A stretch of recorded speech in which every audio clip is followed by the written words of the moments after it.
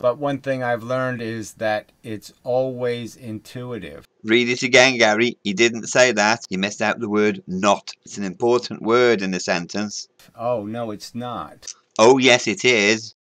But one thing I've learned is that it's Not? always intuitive. You quoted me that I said physics is intuitive. I never said any such thing. Yes, you did. You're a liar. Yes, you did. You misquoted him. You misread what he said because you're blind as a bat. Put some glasses on. Stop being vain. Stop being vain. Stop lying. Stop misrepresenting people. Stop misquoting people. Stop mischaracterizing people and experiments and stop being a fucking huge carbuncle on the face of the planet. But one thing I've learned is that it's Not, not always intuitive. Oh, no, it's not. Never said any such thing. I never said any such thing. But one thing I've learned is that it's always intuitive. You are such a prick.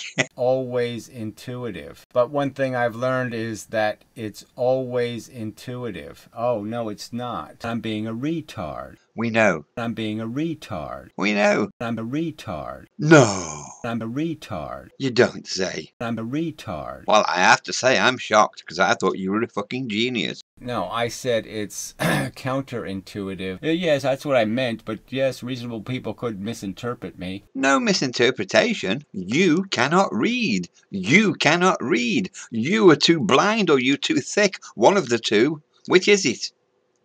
And all because you couldn't put your glasses on. Is why DC motors have communicators What? Are you fucking 10? to have a communicator. I mean, the communicator's just You really are fucking clueless. Gary, you really are fucking clueless, aren't you? Communicator. It's called a commutator. A commutator. And and all because you couldn't put your glasses on. All right, I'm being a proponent of hallucinogenic model, um, shouldn't they be intimidating? And all because you couldn't put your glasses on. Gary, it says heliocentric, not hallucinogenic. You stupid, stupid bastard. Please put some fucking glasses on and plug your brain in. You didn't want to look like a little old man. But you are a little old man. You're a fucking moron. Put your fucking glasses on, then you'll be able to read these things without missing out the word not.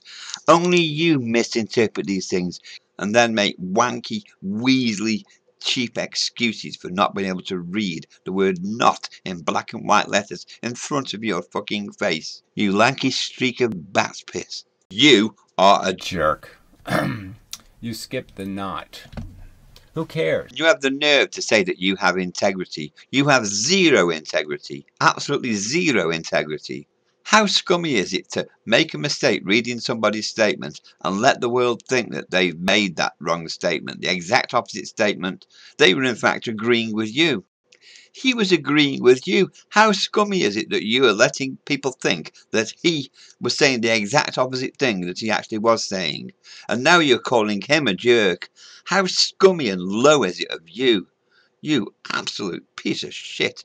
You cannot even take responsibility for your own mistakes. You're like a child. Not important. No, it's not important to you because you, it's not you being affected. It's not you being ridiculed. It's not you being misrepresented.